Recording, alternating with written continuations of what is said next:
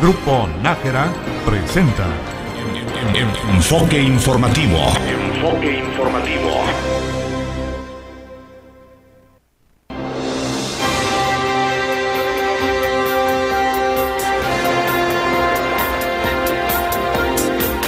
En estos momentos iniciamos Enfoque informativo. Enfoque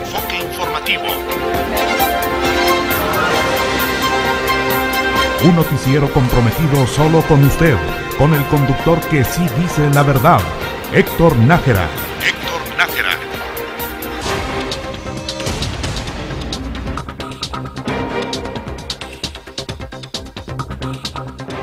Visita el presidente de México, Enrique Peña Nieto, el estado de Guerrero. Pone en marcha la ciudad de las mujeres en Tlapa.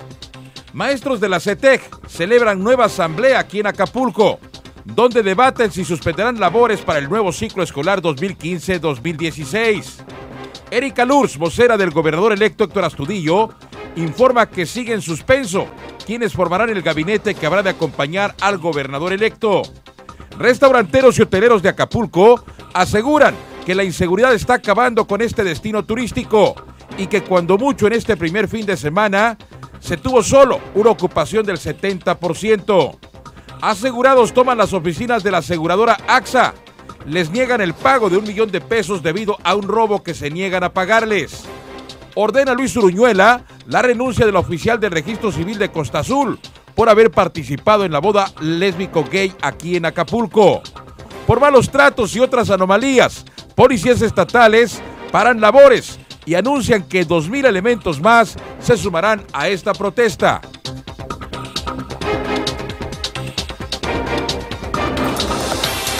Todo esto y más en Enfoque informativo. Enfoque informativo. Hola, ¿qué tal? ¡Qué gusto! ¡Qué placer! ¡Qué privilegio! De verdad, qué privilegio. Gracias a Dios. El tener oportunidad de abrir micrófonos al inicio de una semana más. Hoy es lunes, lunes 20 de julio. Un saludo cordial para todos ustedes, amigos y amigas que nos acompañan a esta hora de la tarde. A usted que está pues en el automóvil, a usted que está en su oficina, está en su trabajo, en su negocio, a usted que desde luego ya está en su casa degustando muy probablemente de, una rica comida familiar.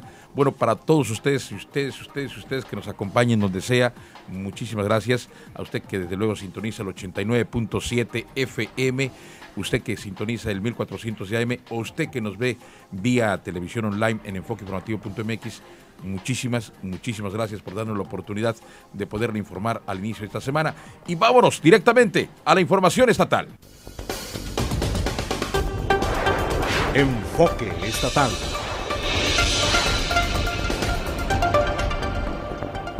Bueno, hoy, hoy, señoras y señores, regresa después de mucho tiempo, de mucho tiempo a Guerrero, el presidente Enrique Peña Nieto, presidente de México. Lo hace en la zona de, de la montaña de Guerrero, en Tlapa. Ahí inaugura el día de hoy la ciudad de las mujeres. Y bueno, en estos momentos está totalmente en vivo. Vamos hasta Tlapa con mi compañero Víctor Hugo Robles, quien le platica desde luego a qué ha venido Peña Nieto. Además, está festejando, tengo entendido, hoy precisamente 49 años de vida.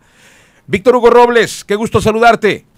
¿Qué tal, Héctor? Eh, buenas tardes, buenas tardes al auditorio de Enfoque Informativo. Como bien lo señalas, este día el presidente de la República en Tlapa de Comunflor, en la región de la montaña, Sol Rosario Robles Berlanga, pues pusieron en marcha ya esta eh, pues ciudad de las mujeres. Enrique Peña Nieto inauguró ese mediodía allá en la zona de la montaña Tlapa de Comonfort, estado Guerrero, en el cual esta ciudad de las mujeres ofrecerán servicios integrales para el sector de la población, en particular mujeres en situación de marginación social. La construcción de este espacio de salud fue comprometida por el mandatario en noviembre del 2013 en el marco de la conmemoración del Día Internacional de la Eliminación de la Violencia contra la Mujer. La ciudad de las mujeres forma parte de una serie de proyectos a favor de las féminas de la región eh, como centro de justicia para las mujeres en la región de la montaña, donde precisamente se vive esta marginación muy acentuada. Esta obra tiene una inversión de 121 millones de, de pesos, 95% de ellos de carácter federal, el resto estatal, que beneficiará a más de 189 mil mujeres de 19 municipios del estado de Guerrero. Allí en esta, en esta inauguración, el gobernador Rogelio Ortega Martínez agradeció al presidente Enrique Peña Nieto esta visión futurista, es la primera ciudad eh, de las mujeres que se instala a nivel nacional y precisamente en el estado de Guerrero, en esa zona agreste de la entidad, donde, donde se pretende precisamente hacerle justicia a esta zona marginada del estado de Guerrero. Esto fue lo que señaló esta tarde Rogelio Ortega Martínez. Aquí una muestra de nuestros pueblos originarios, los nahuas, los mepa, los nasabi y los ñonda. Aquí donde también se produce el mestizaje con quienes llegaron de Europa, pero los que llegaron también por el Pacífico de Asia y quienes vinieron y nos incorporaron también nuestros pueblos afromexicanos. Esta síntesis que le da capacidad de trabajo, creatividad y voluntad de triunfo a los guerrerenses. En las tragedias, las que nos producen la naturaleza, como la de Ingrid y Manuel, señor presidente, pero con capacidad también para ponernos de pie, porque las crisis son oportunidades y las oportunidades se aprovechan cuando existe generosidad, como la generosidad que tuvo el licenciado Enrique Peña Nieto, presidente de los Estados Unidos, cuando frente a esa contingencia se diseñó el plan Nuevo Guerrero. Y ahí están, no reconstruidos, sino nuevos, los 10 grandes puentes que se colapsaron, salir fortalecidos de la crisis. Y la crisis del año pasado, lo de la tragedia de Iguala, señor presidente, hoy es una prueba más para el pueblo de Guerrero. Y de esa crisis política y social podemos decir que hemos también salido fortalecidos. Allí en esta ciudad de las mujeres se pretende beneficiar a los municipios de Metlatono, Acatepec, eh, Alpoyeca, Atamajalcingo del Monte, Atizlac, Cochuapa el Grande, entre otros. Ahí la propia secretaria de Desarrollo Social Federal, Rosario Robles Berlanga, en su discurso dijo que se aplican programas específicos para atender a las familias más pobres de la montaña, como fue el compromiso del presidente de la República Mexicana. y CDI estamos las unidades a los lugares más remotos. La reciente encuesta de ingreso y gasto dada a conocer por el INEGI nos demuestra que esta política ha dado resultados, que en medio de un contexto adverso, las familias más pobres de México aumentaron su ingreso en un 2.2% y las que habitan en localidades menores de 2.500 habitantes, ahí donde hemos focalizado la acción del gobierno, este crecimiento es del 3.8%. Pero lo más importante, las evaluaciones de expertos del Instituto Nacional Salvador Subirán y del Instituto Nacional de Salud Pública, que nos dicen que gracias a la Cruzada Nacional contra el Hambre, en esta región, que es quizás una de las más pobres, si no la más pobre del país, ha disminuido la anemia y aumentado el peso y la talla de los niños y las niñas. Lo hemos dicho antes, que hemos llegado a donde antes nadie había llegado, a los más pobres entre los pobres, que ha sido la población atendida por la cruzada a los más pobres entre los pobres, cuyo rostro tiene cara de mujer y de indígena. La ciudad de las mujeres es la muestra contundente de que en su gobierno, señor presidente, el compromiso con las mujeres más pobres de México se está cumpliendo. No existe en todo el país una instalación de esta naturaleza, ni por su concepción, ni por su dimensión. Es una instalación de primer mundo porque eso se merecen las mujeres indígenas de la montaña de Guerrero, largo tiempo olvidadas, invisibles todavía a los ojos de muchos y que gracias a las obras emprendidas hoy han mejorado su calidad de vida y lo harán todavía más con esta gran ciudad que les proporcionará importantes servicios. Y bien, Héctor, como escuchaste, esta situación que prevalece allá en la región de la montaña se verá pues eh, disminuida con este con esta ciudad de las mujeres donde se estará pues ya eh, pues generando ya las condiciones eh, mejores para estas féminas las más marginadas del país ahí la propia secretaria señala que pues se requiere de mayor inversión y los programas sociales que se han ahí la pues originaria de Salpatláhuac, Araceli Hernández Peláez, le agradeció al presidente de la República esta magna obra en beneficio de estas mujeres que precisamente requieren de todo, de todo el apoyo de todos los gobiernos, tanto de la República, del Estado y de los municipios. Hoy Enrique Peña Nieto, presidente de la República, se ve mejorado después de esta intervención quirúrgica, contento. Hoy celebra su cumpleaños número 49 y qué mejor que ahí con las mujeres que requieren de todo, de todo el apoyo de las autoridades. Ahí fue tajante el presidente de la República, Enrique Peña Nieto, en torno a este gran beneficio y esta solidaridad con las mujeres de Guerrero. Hoy estamos aquí para inaugurar la ciudad de las mujeres. Esta obra que comprometí hace ya varios meses precisamente en alguna visita que hiciera Guerrero. En lo que identificamos era parte o es parte de este esfuerzo realmente, primero, por darle una atención focalizada, especial y dedicada a las mujeres de México. Y más aún en aquellas regiones del país que enfrentan mayor rezago, mayores carencias, mayores necesidades y que hoy estamos para trabajar en favor de las mujeres de México, en favor de quienes sin duda son el alma, son el gran motor del desarrollo nacional. Todas las mujeres, sin importar en dónde estén, desde el trabajo en su hogar, en el trabajo profesional que realizan en distintos ámbitos, las mujeres son el gran apoyo, son el gran motor, son el corazón del esfuerzo realmente para que México avance y logre mejores condiciones.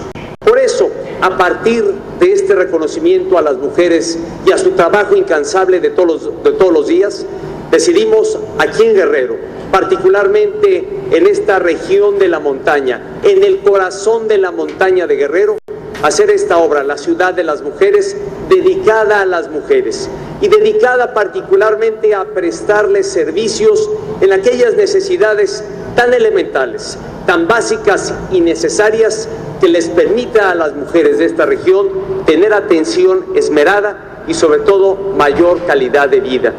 Este, esta ciudad de las mujeres, que además a propósito tiene en su denominación una expresión plural al hablar de mujeres y no de la mujer solamente, de las mujeres porque en cada mujer hay, una, hay un espíritu propio de creatividad, de dedicación, de empeño, de visión, de pensamiento diferente entre las propias mujeres y lo que buscamos es que esta sea una ciudad para todas las mujeres.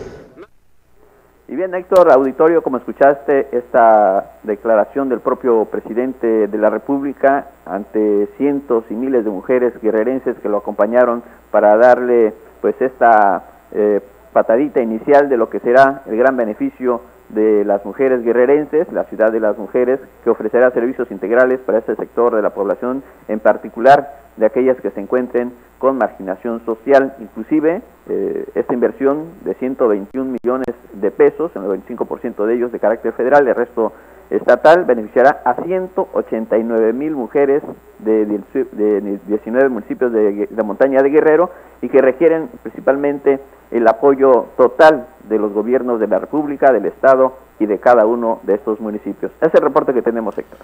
Muy bien, Víctor Hugo, pues ahí tienes, y ahí tienen amigos del auditorio lo que ha pasado hoy en Tlapa, en donde la propia secretaria de Desarrollo Social Federal, Rosario Robles, reconoce, dice, donde se encuentran las mujeres más pobres, de las más pobres, ojo, ojo eh, las más pobres de las más pobres de este país. Y tiene que ser en nuestro estado de Guerrero.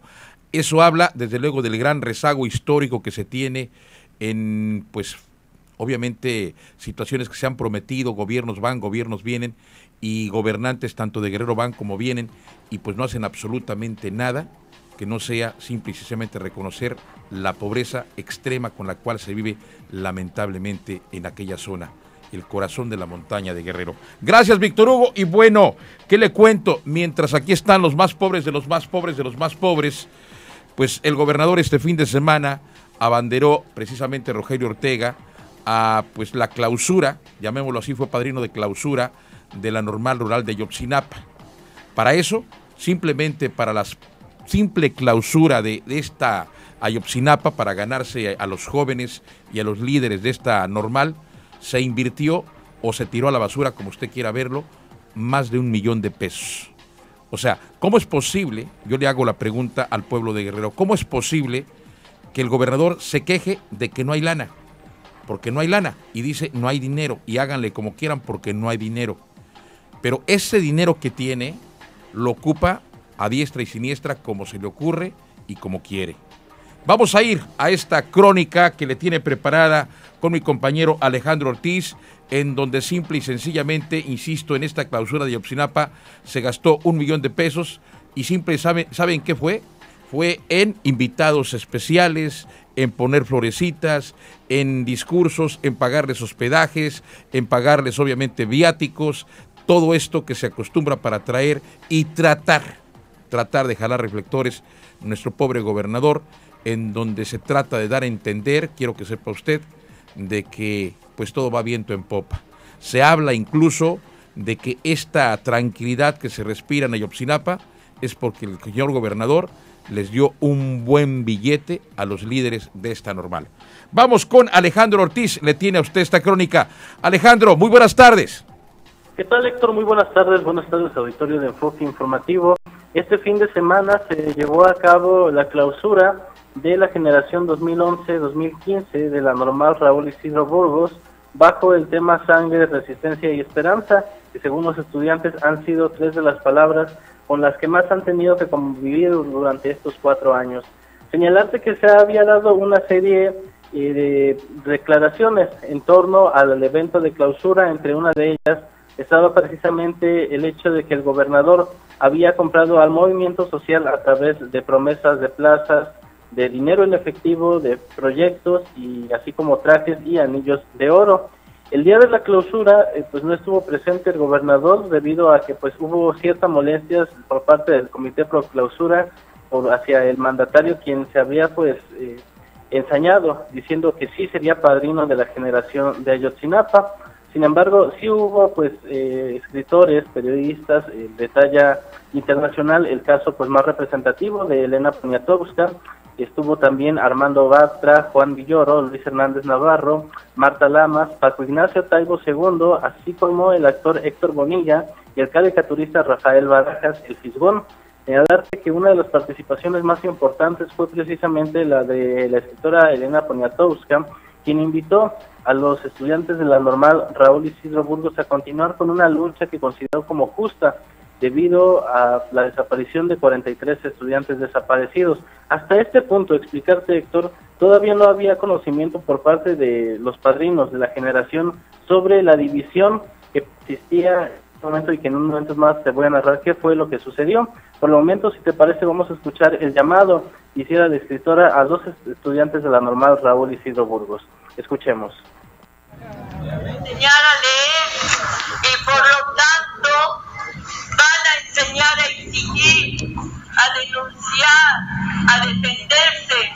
Un país que sabe leer es un país en que todo se cuestiona, todo debe cuestionarse. Un país que sabe leer reclamar lo que es suyo, porque conoce sus derechos. Ustedes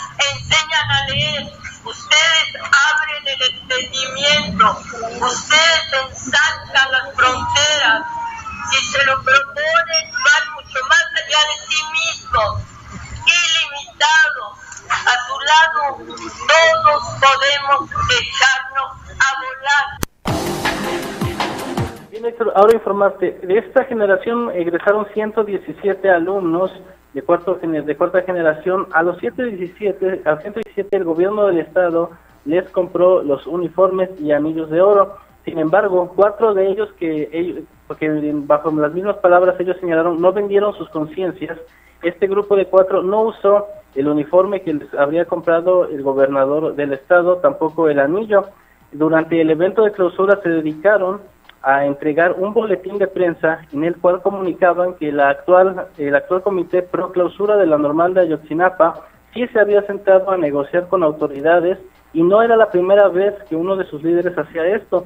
Mencionó el caso anterior de Ángela Aguirre Rivero, con quien también se había sentado a negociar, y dentro del comunicado anunciaban que no fue un millón de pesos el que otorgó eh, Rogelio Ortega Martínez en efectivo para los 117 egresados de la normal de Sinapa. Aseguran fue más de un millón de pesos en efectivo el que se les dio para esta generación, a cambio de que eh, todo lo que es eh, el, alumnado de cuarto año, la academia vaya de cuarto grado, no participaran de ninguna de las movilizaciones por eh, la presentación de los 43 desaparecidos. En el mismo comunicado explicaban que si pues hubo esta, esta situación por parte de medios de comunicación de estar atentos sobre las acciones, en ningún momento se vieron a estudiantes del cuarto grado participar de dichas acciones y esto se debe precisamente a que ya se había pactado con el gobernador la entrega de dinero en efectivo, apoyos por 50 millones de pesos para la normal, plazas docentes de automáticas por parte del gobierno federal, así como pues eh, los anillos y los trajes de esta generación pues que se llama Sangre, Resistencia y Esperanza.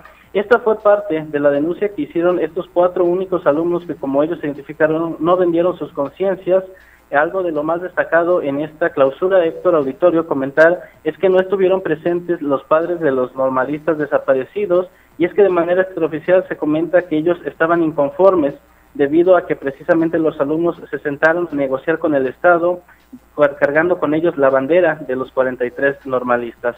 Esto fue lo sucedido el fin de semana durante el evento de clausura en la normal Raúl Isidro Burgos en el municipio de Tixla. Información por el momento, Héctor. Regresamos más adelante.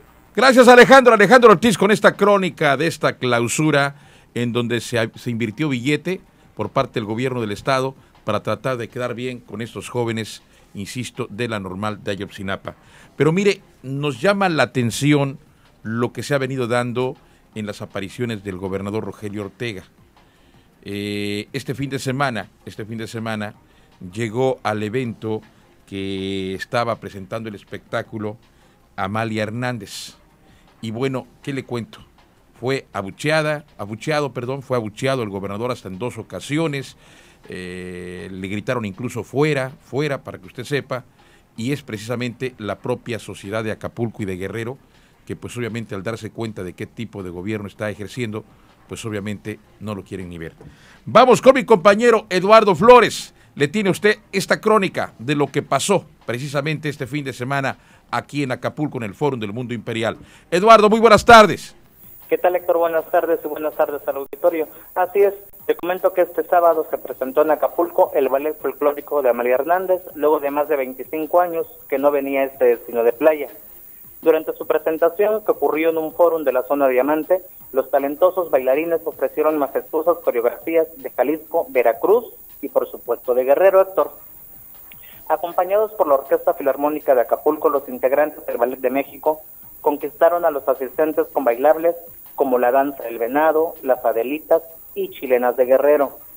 Toda esta presentación del ballet de Amalia Hernández pues transcurría entre aplausos y gritos por parte de los presentes. Eh, después de una media hora de espectáculo, el show del ballet de Amalia Hernández llegó a su fin, sin antes hacer un recorrido por varios bailables del país y de recibir un reconocimiento por parte del gobernador Rogelio Ortega Martínez. Cuando se dio este anuncio, comenzaron los abucheos sector por parte del público que llenó toda la parte de abajo del, del, Foro Mundo Imperial. Primero eran abucheos al escuchar el nombre del gobernador Rogelio Ortega Martínez.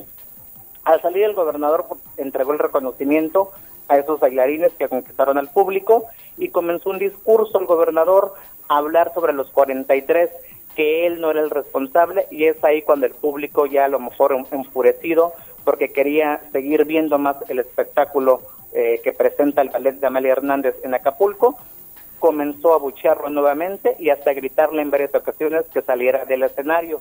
Aún a esto el gobernador del estado continuó con su discurso y volvió a repetir eh, de nueva cuenta que él no era el responsable y los abucheos continuaron Fue así que el gobernador se retiró de- del, escenario del Foro Mundo Imperial y este siguió el, el ballet folclórico al frente este, con sus danzas. El ballet folclórico de Amalia Hernández, este, te comento Héctor, que no se presentaba en el puerto de Acapulco desde hace 25 años, volvió este sábado aquí al Fórum del Mundo Imperial presentando sus danzas magníficas, pero este pequeño detalle ocurrió al presentarse el gobernador al final de la presentación del ballet y pues, los abucheos no se hicieron esperar para el gobernador de Guerrero, Rogelio Ortega Martínez.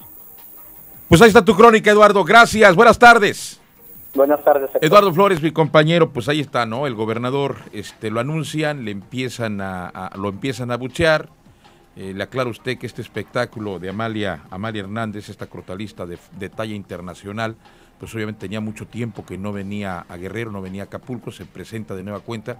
Ahí quiere aprovechar, eh, jalar reflectores el gobernador, dándole pues este reconocimiento, pues obviamente sí bien merecido, pero cuando se pone a hablar y a decir que él no es el culpable, pues la gente le empieza a gritar fuera, fuera, fuera y a buchearlo. Bueno, ahí está para la historia.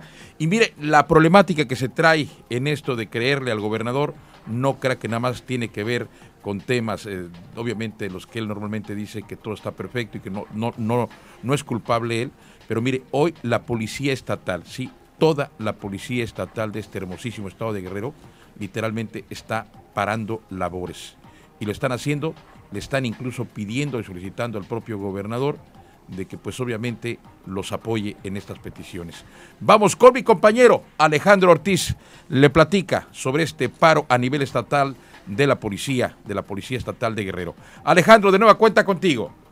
Saludo nuevamente, Héctor. Pues así es, el día de hoy, durante las primeras horas de esta mañana, elementos de la Policía Estatal Acreditable, que fueron los primeros en alzar la voz y salir del Centro de Control, Comando, Comunicaciones y Cómputo C4, ubicado al sur de Chilpancingo, con pancartas de protesta y en demanda a solución de diversos tipos de problemáticas eh, que pues competen a la Corporación de la Secretaría de Seguridad Pública. A lo largo de la entrevista, pues los elementos de la Policía Estatal destacaron que no únicamente será la Policía Estatal acreditable la que participe de la, de la- del paro de labores.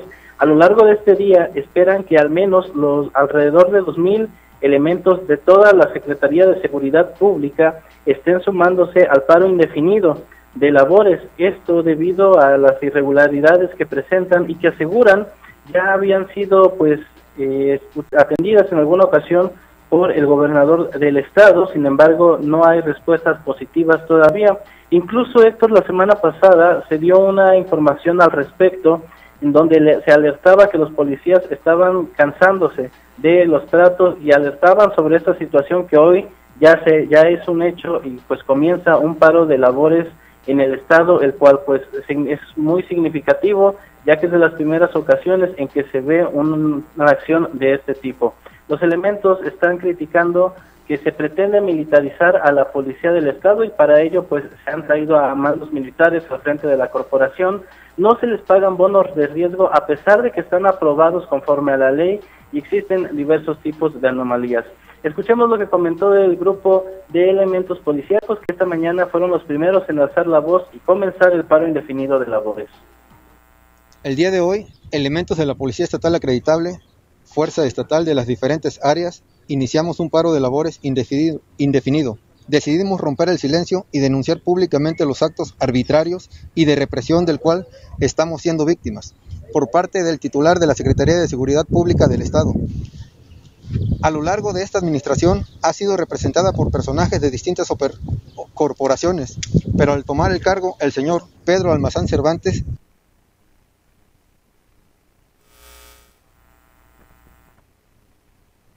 Héctor, eso es parte de la denuncia que hicieron los elementos de la policía estatal, como te repito, únicamente fue el, al principio del inicio este grupo de acreditables que trabajan en C4, sin embargo ya se hizo el exhorto a toda la corporación y al final del día pretenden o auguran que al menos 2.000 elementos en todo Guerrero se estén sumando de esta movilización que, como te repito, ya había sido anunciada debido a las diversas anomalías y que no han sido atendidos hasta la fecha por parte de las autoridades estatales. Mi información desde la capital de Guerrero, Héctor Auditorio. Muy buenas tardes. Gracias Alejandro, Alejandro Ortiz, mi compañero. Información desde luego que sí nos tiene que importar a los ciudadanos porque estamos hablando que de lo peor que está viviendo Guerrero es el tema de la inseguridad. Ahora súmela esto el paro de pues la policía estatal, que de repente nos preguntamos para quién trabaja, dónde trabaja, porque poco se le ve, sobre todo cuando todo dependemos de que nos venga a resolver en el tema de la inseguridad el gobierno federal. Creo que no se vale. Vamos a un corte comercial, no se vaya, regresamos con más. Estás escuchando a Héctor Nájera.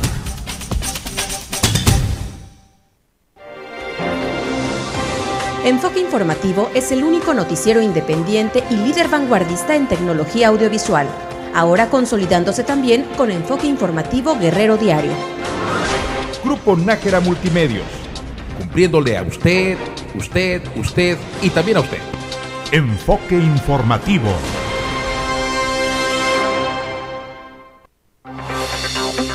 ¿Quieres pertenecer al equipo de Enfoque Informativo Guerrero Diario? Esta es tu oportunidad. Solicitamos repartidores por las mañanas. Comunícate a los teléfonos 483-0865 y al 485-7777. Enfoque Informativo Guerrero Diario. La verdad en sus manos.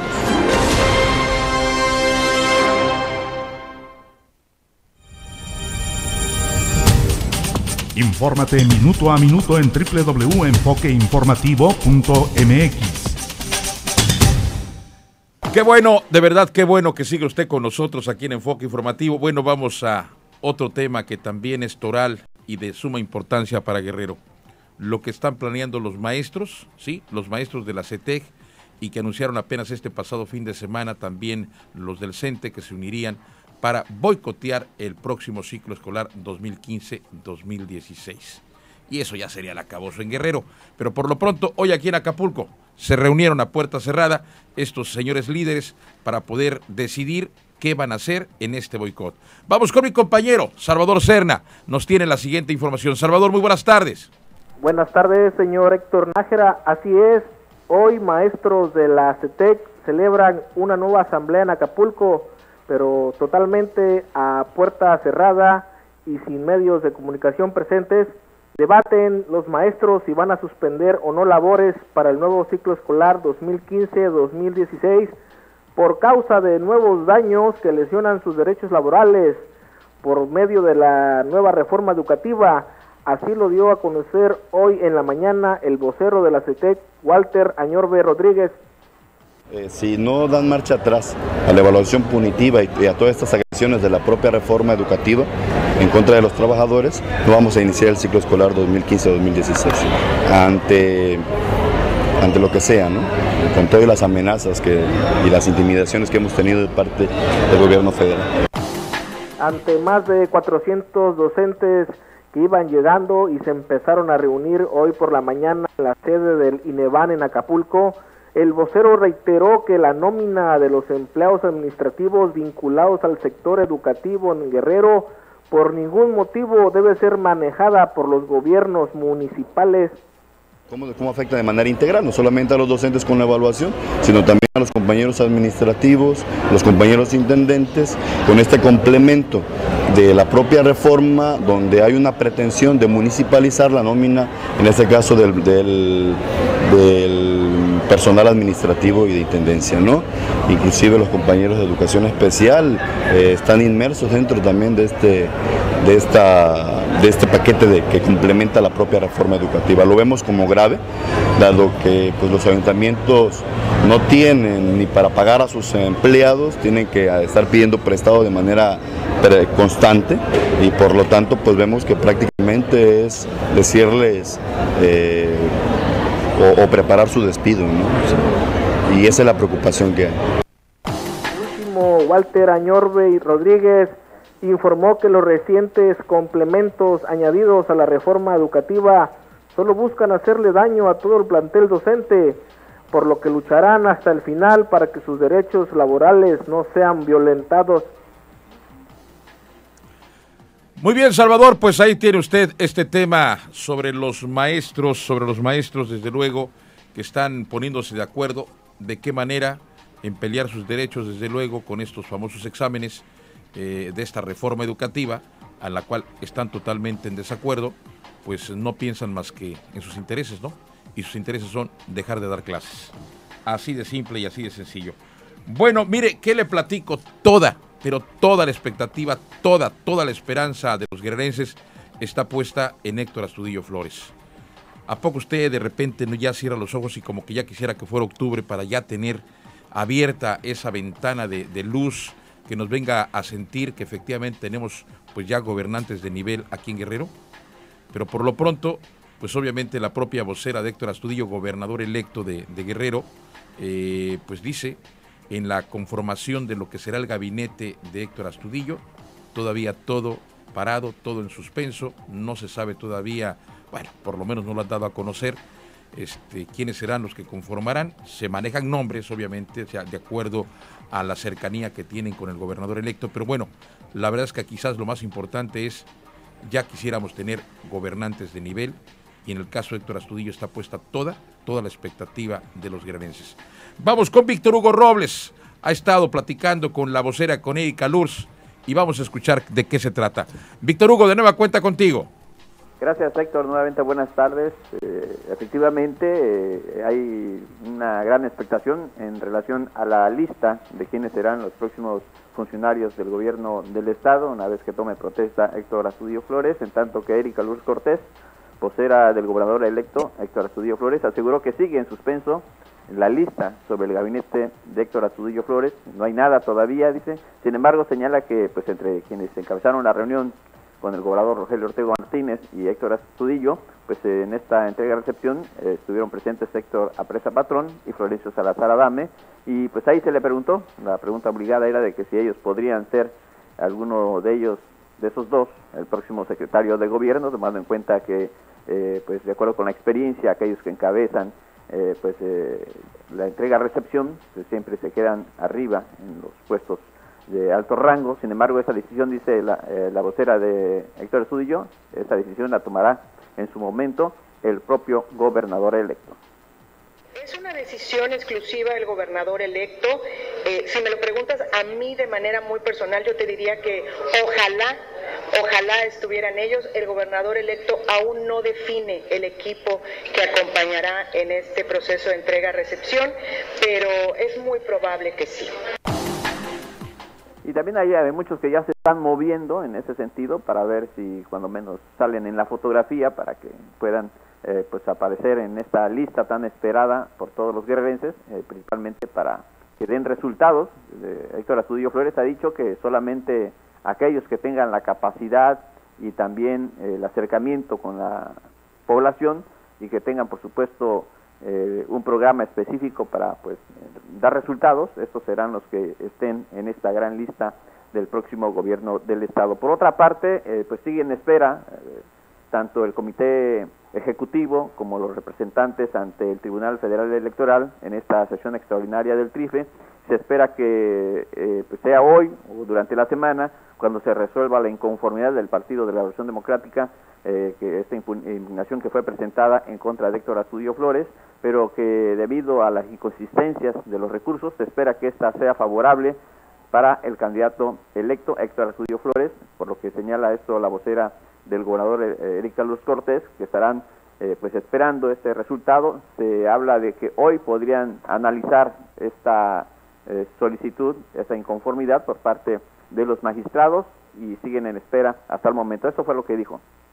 Tribunal Electoral Federal tiene incluso hasta un día antes de la toma de protesta del gobernador para resolver.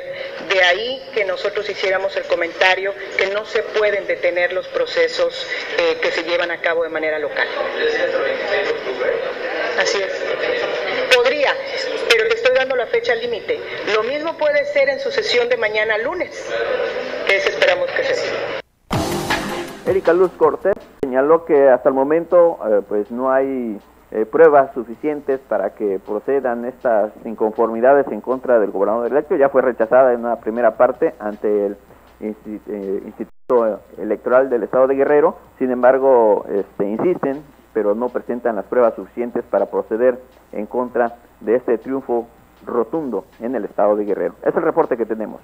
Víctor Hugo, pero a donde tengo entendido, hoy sesiona, digamos, quienes dictaminan al final en el TRIFE y pudiera tocarse este tema de la impugnación por parte del PRD hacia Héctor Astudillo, gobernador electo de Guerrero, y pudiera darse eh, incluso en horas, ¿no?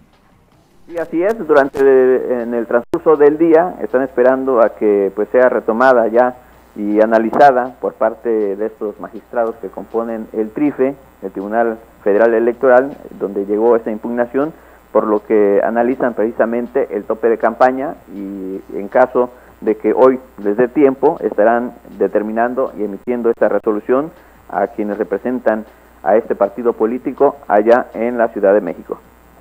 Muy bien, Víctor Hugo, gracias por tu reporte. Víctor Hugo Robles, mi compañero, con esta información, bueno, simplemente abonando desde luego este tema, es, sería importante, sería importante que ya el TRIFE pues definiera no esta impugnación, para bien o para mal, pero que ya la definiera, porque de alguna manera es lo que está provocando, digamos, la espera de, esta resolución que pudiera dar el TRIFE para que incluso el propio presidente de México, Enrique Peña Nieto, reciba, como lo ha hecho ya con otros eh, pues, eh, gobernadores electos, vamos, que fueron elegidos en la pasada elección del mes de, de junio, bueno, pues ya decidir efectivamente recibir a Héctor Astudillo Flores, como insisto, lo ha hecho con los demás. Bueno, vamos a ir al tema de las vacaciones de verano. Han arrancado, pues afortunadamente las carreteras del país, eh, y esto es un mensaje desde luego para todos los turistas, hay que revisar los automóviles antes de tomar carretera, eh, sobre todo buscar, eh, pensar que menos alcohol, menos este, drogas, a veces este, por el exceso de, de la seguridad que les da el venir en una autopista, pues se les ocurre venir tomando, hay que evitar esto y sobre todo los operativos, los operativos que está implementando, eh, pues obviamente la Policía Federal creo que son importantes y desde luego cuidar, cuidar que las vacaciones sean precisamente para disfrutarlas y no para tener desgracia.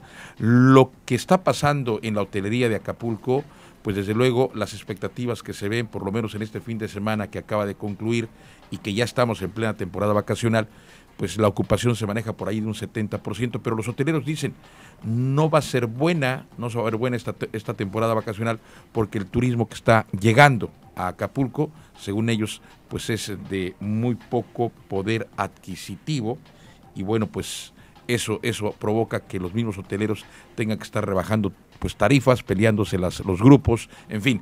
Vamos con Salvador Serna, le va a ampliar a usted esta información. Salvador, de nueva cuenta contigo. Buenas tardes, señor Héctor Nájera. Así es, para los gerentes de hoteles ubicados en la franja turística de la zona dorada de Acapulco, el primer fin de semana de las vacaciones de verano no arrancó como lo esperaban, en virtud de que el turismo de alta calidad ya no llega a dicha zona. Así lo dio a conocer hoy el gerente del Hotel Hacienda María Eugenia, el señor Martín Jiménez. Cantidad, repito, cantidad, no calidad. Lamentablemente cada día nos está llegando un turista que trae muy pocos recursos para, para gastar en, en los hoteles, en los restaurantes. Es el turismo social que la propia autoridad se ha dedicado a decir de que es la solución para Acapulco, cosa que no estamos de acuerdo. Sí estamos de acuerdo que vengan este, diferentes corrientes de turismo, pero sí como que Acapulco lo están tomando como un destino de balneario, como un destino de, de voy allá porque allá está más barato y quieren venir a hacer lo que lo que quieren desde este violar los reglamentos, violar las leyes y aparte este pues en este caso para quienes lo permiten pagar este los servicios al precio que ellos quieren, ¿no? Gerente también compartió que la tan ansiada rama económica está llegando de forma deprimida al primer círculo de contacto con el turista, como lo son los hoteles, restaurantes y bares, caso contrario a los supermercados y tiendas de conveniencia comercial como los mini supers.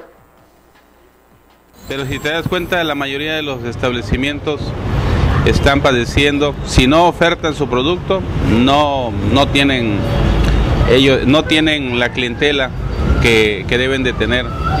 La derrama es muy poca la que está dejando. Los únicos beneficiarios, los únicos que sí les va súper bien son los centros comerciales, como son los supermercados y este, las tiendas de conveniencia que abundan en la costera.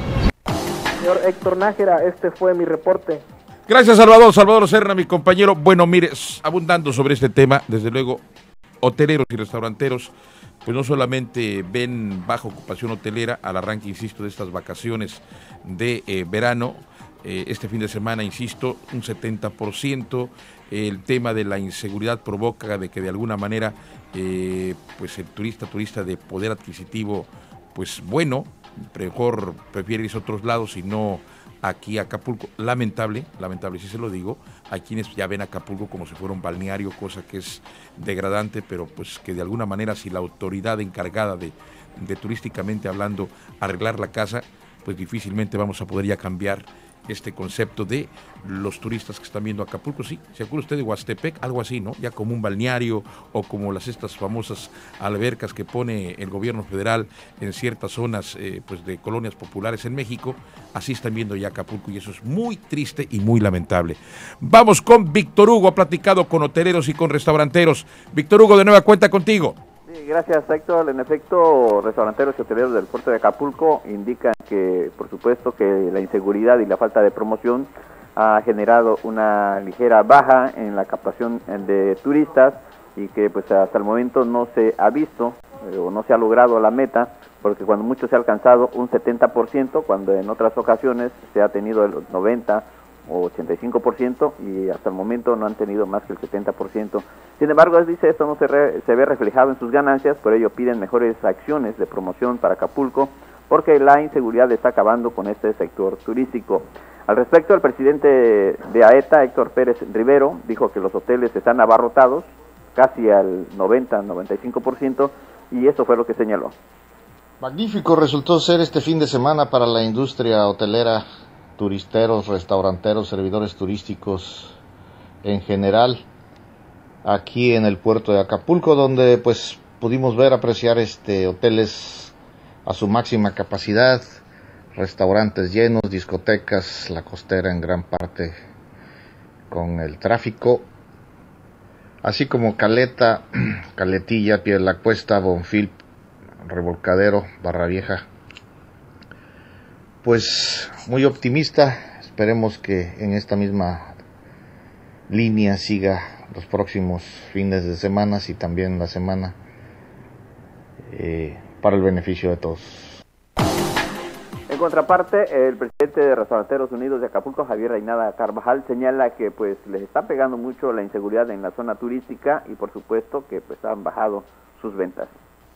Positivo, la gente está llegando, eh, ya estamos al 80%, ayer cerramos un 80% y eso qué quiere decir que pues la gente a pesar de, de, este, la economía que sufre el país, la gente, la gente está llegando, mano. La gente está llegando, gracias a Dios. Saben que Acapulco está de pie. No hay lugar más este, económico que Acapulco. Ellos perfectamente lo saben y ya vemos nosotros la afluencia turística que ya tuvimos este fin de semana y todo eso pues habla positivamente. Ya nomás esperamos la respuesta del señor presidente que sabemos que va a andar por aquí por Guerrero acerca del descuento. Sabemos que el señor presidente pues quiere mucho a Guerrero y él sabe la situación, él sabe la situación que, que, hemos estado pues viviendo más que nada de los bloqueos y esperemos que, que se sensibilice el, señor presidente y nos regrese el 50% de descuento para el turismo. Por otra parte, también te informo, Héctor, auditorio, que un grupo de personas, eh, familiares y amigos de la propietaria del negocio de computadoras, Francisca Alcaraz González, que compró un seguro para eh, con razón social eh, del asegurador AXA, pero ahora no le quieren pagar un millón de pesos debido a que le robaron todo su, su equipo en el local ubicado en la avenida Niños Héroes. Al respecto, habla el representante legal Apolo, Apolo Bello Alcaraz, quien dice que pues hasta el momento la aseguradora AXA no les quiere pagar este robo millonario ahí en la colonia Progreso. Mira, yo soy el representante legal de la señora Francisca Alcaraz González, quien es la propietaria de una de un local ahí en La Progreso de computadoras y accesorios telefónicos, quien adquirió una póliza de seguros con esta compañía, con AXA, y que lamentablemente hace algunos meses tuvieron un, un siniestro donde le robaron toda su mercancía. Para esto la Fiscalía General del Estado nos ha brindado todo su apoyo a través del comandante de la ministerial y el Ministerio Público encargado. Nos han dado todo su apoyo, incluso ya fueron los este, peritos a checar el lugar, a hacer su investigación. Esta mañana los inconformes tomaron las oficinas para que los responsables les paguen el millón de pesos porque no quieren reconocer el delito que se cometió en agravio de esta señora Francisca Alcaraz, argumentando que se autorrobaron o que no contaban con este equipo de computación y de impresoras, toda vez que su principal actividad de esta agraviada es la venta de computadoras. Y hasta después de cuatro meses le envía una carta a la asegurada donde le dice que no le puede pagar, no le puede cubrir, porque ellos deducen, creen, piensan y suponen que la factura es eh, dudosa, que ellos creen y suponen que la mercancía nunca existió y pues que a final de cuentas eh, les quieren meter un gol. Para esto es el movimiento, para esto es la toma de las oficinas, para que vengan y se presenten esa bola de sinvergüenzas y lo digan públicamente. Está la inconformidad de estos eh, jóvenes y familiares también de la propietaria del negocio de computadoras Francisca Alcaraz que pide se le pague este seguro y que no es la única queja que ha tenido esta empresa, sino que ha habido varios fraudes que ha cometido y no Fíjate, Víctor, que retomando este tema de esta aseguradora AXA, yo les recomiendo de verdad, de forma personal, a todos los ciudadanos que estén intentando conseguir o comprar un seguro, el peor error humano que se puede de verdad darse uno es comprar a, esta aseguradora AXA. Son unos truanes, son unos ratas, así se la pongo yo, ¿eh? Así se la pongo yo. Este, te lavan el cerebro, te dicen sí, sí, y a la hora de que tienes el precance o alguna situación anómala, inmediatamente te dicen no te pago y hazle como quieras. Así es que aprovechando desde luego este llamado que hace esta señora y, su pues abogado en cuanto a denunciar a esta empresa AXA, una empresa aseguradora, eh, pues obviamente es importante que usted si está queriendo adquirir algún seguro de cualquier tipo, de verdad sería un gravísimo, gravísimo error comprar un seguro a esta aseguradora AXA. Son unos ratas, son unos tranzas y tenga usted mucho cuidado, se lo digo de verdad, porque simple y sencillamente a la hora de decir no le pagamos y no le pagamos y no le pagamos y hágale como quiera. No crea usted que es un, una única reclamo que se tiene, son muchos reclamos de esta aseguradora que está fallando de manera determinante. Así es que si usted puede evitar comprar un seguro de esta aseguradora AXA, hágalo. Vamos con la, el, tengo entendido, mi querido Víctor Hugo, que el alcalde Luis Uruñuela, eh, pues ha corrido ya, tengo entendido, a la persona que fue a la boda lésbica y gay y que fue sin permiso del ayuntamiento, ¿verdad? Así es, esta mañana el alcalde en conferencia de prensa pues también reconoció esta situación se está dando y que puntualmente Enfoque Informativo le está dando seguimiento y ya el alcalde Luis Unidad Rey ordenó la renuncia oficial eh, de la representante del registro civil número 48 de Costa Azul, Sara Luna Cruz, quien participó en la boda gay en Acapulco. En su lugar nombraron a Ana Berta Orellana Rayete, por lo que eh, Uruñuela Fey aduce que fue decisión del cabildo este cambio y no por, eh, no por haber acudido a, a oficiar este matrimonio igualitario allá en esa zona de las hamacas donde se llevó a cabo este evento. Eso fue lo que dijo. No, no por eso. No, no tanto por eso. Hubo alguna revisión por ahí y, y alguna propuesta de alguno de los regidores y, y la verdad se, se- se actuó de la manera que señala la ley, exclusivamente. Se inhabilitó, pues no está en términos generales. Alcalde, Entonces- ¿estuvo usted, perdón, a ver, concluir este tema? ¿Mande? Ah, Sí, sobre eso, entonces, ¿qué decisión va a tomar el alcalde sobre lo de la El acuerdo del cabildo fue designar a otra persona en su lugar. ¿Para cuándo? Ya. ¿Ya la designaron? Ya. ¿Quién va a quedar ahí? No, fue a propuesta de otros estados, pero la propuesta en Cabildo la hace el presidente. ¿Quién va a quedar ahí? No recuerdo el, el nombre de la otra persona, pero es una Pero persona tomaron- experta en el tema. ¿Ya le tomaron protesta o todavía no le falta? Ya está actuando. ¿O posesión? Ya- ya. ¿Tomó posesión ya? Debe, debe haber tomado posesión el hoy precisamente. Hoy, hoy precisamente. ¿Es hombre o mujer? Mujer. Y va a ser lo que señala el alcalde Luis Uruñuela Fey. Sin embargo, en esta situación, el propio Cabildo debe de tomarle primero la protesta a la nueva oficial de registro civil número 48, de lo contrario no puede hacer las funciones hasta que le tomen la protesta, no se la han tomado, debe de ser durante la próxima sesión de Cabildo, ahí están cometiendo una irregularidad. En tanto que en materia de seguridad no han investigado, dice, eh, a los policías que presuntamente están vinculados con la delincuencia y siguen operando de manera normal, por lo que hace caso omiso del llamado del gobernador Rogelio Ortega Martínez de que estos policías, que supuestamente son delincuentes, no anden en, en la calle delinquiendo. ¿Se inhabilitó a la policía municipal como lo ordenó el gobernador o No. sigue trabajando? ¿Qué estás haciendo ahí? No, ¿Qué él- él- yo, yo entiendo que, que no fue una inhabilitación como lo señalan al- o lo entendieron algunos, pero sigue operando nuestra policía y, y sigue ¿En haciendo de manera coordinada. algunos cuadrantes, ¿no? No. ¿Sigue operando normalmente? Sigue operando normalmente la policía y en los operativos que, que se arman, pues cada quien asume su responsabilidad y estamos asumiendo la nuestra. Ahí está la respuesta que dio esta mañana el alcalde Luis Uruñuela Fey. Es el reporte que tenemos, Héctor. Gracias, Víctor Hugo. Bueno, pues ahí está usted, ¿no? Con esto nos demuestran que en el tema de la inseguridad que se vive en Acapulco, sobre todo, pues cada quien jala para donde se les ocurre. Eso es lo que estamos viviendo, ¿no? El gobernador por un lado, el presidente municipal también por otro lado, y la sociedad, pues obviamente sufriendo las consecuencias ya, ya que llegue octubre para que entren los nuevos. Señoras, señores, vamos a los espectáculos al inicio de la semana. Hansel Zárate, ya en este estudio. Hansel, ¿cómo estás? Buenas tardes, bien, bien Héctor, bien, es, buenas tardes al auditorio. Fíjate que, que Acapulco este fin de semana se vio bastante bien, se vio lleno. Yo difiero un poquito de lo que, de la nota que comentaban.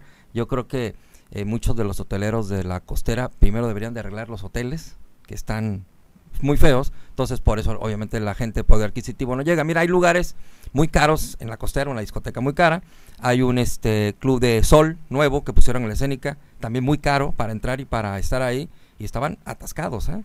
atascados con cuentas de 10, 15 mil, 20 mil, 30 mil pesos por, por mesa.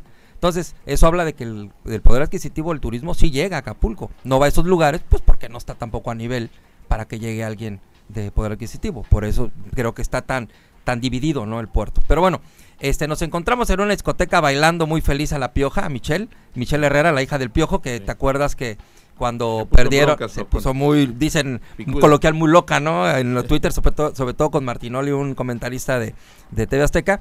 Pues nos los encontramos con sus amigos aquí en el puerto, muy feliz. Obviamente eso fue antes del partido de contra México. Costa Rica, ¿no? Quién sabe cómo se pondría después. Pero bueno, ellos son los personajes que andan por aquí. Y nos encontramos, ya que hablamos de fútbol, nos encontramos a José Saturnino Cardoso, ¿te acuerdas? Ese no. grandísimo goleador del Toluca en un tiempo es, que eh. Fue alguna vez el mejor goleador del mundo con 50 goles, algo así en una temporada, ¿no? cómo no. Pues nos los encontramos aquí en el puerto con su familia, muy feliz, este, en la playa. Este, vimos, yo nunca lo había visto en el papel de papá, muy cuidadoso. Tiene su, una hija, yo creo que debe tener como 10 años. Estaba con él dentro del mar, estaba el mar, este, con mucho, mucho oleaje. Estuvieron, yo creo, híjole, yo estuve hora y media ahí haciéndole unas fotos y del tiempo, todo el tiempo adentro. Después llegó su esposa, que hay que decir que, bueno, la esposa, este, bastante atractiva, ¿eh? la esposa de, Cardoso. Este, se metió un ratito con ellos, con cuidándose la cara con su gorra. Estuvo antes, este, dándole un masaje ahí en la playa. Se metió después con Cardoso. Estuvieron un rato ahí de abrazo a papacho, con la hija siempre bien cuidada.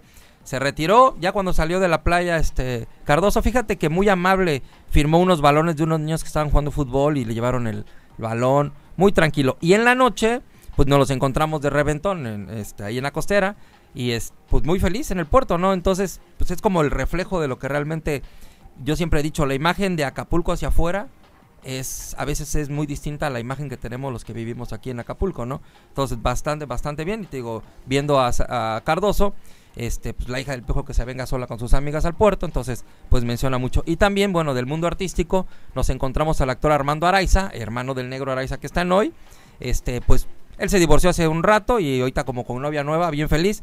Nos los encontramos en una góndola, en la góndola de corazoncitos rosas ahí en, la- en el centro comercial de por el aeropuerto, como de romance. Ya. ¿no? Muy, muy feliz de la mano del, yo creo que es su nueva novia, yo nunca lo había visto con ella, y ahí de, de góndola, muy felices. Entonces fue lo que pasó en Acapulco este fin de semana. Realmente interesante esta, esta observación que tú haces y, y- y qué bueno que haces este llamado a los hoteleros, porque efectivamente, digo, también quieren turismo de poder adquisitivo, bueno, pues que le entre con sus remodelaciones, ¿no? Digo, yo te puedo decir, por ejemplo, diciendo el nombre del Banyan Tree y del, y del Princess, con las habitaciones arriba de 4.500 pesos la noche, llenos. O sea, sin ninguna bronca. Muy bien. Entonces, Pues, al- al- dice algo, ¿no? Algo está pasando ahí, por cierto, tocando el tema de la selección. Qué pésima selección, ¿eh? Qué ridículo están haciendo. La verdad es que nos regalaron el partido.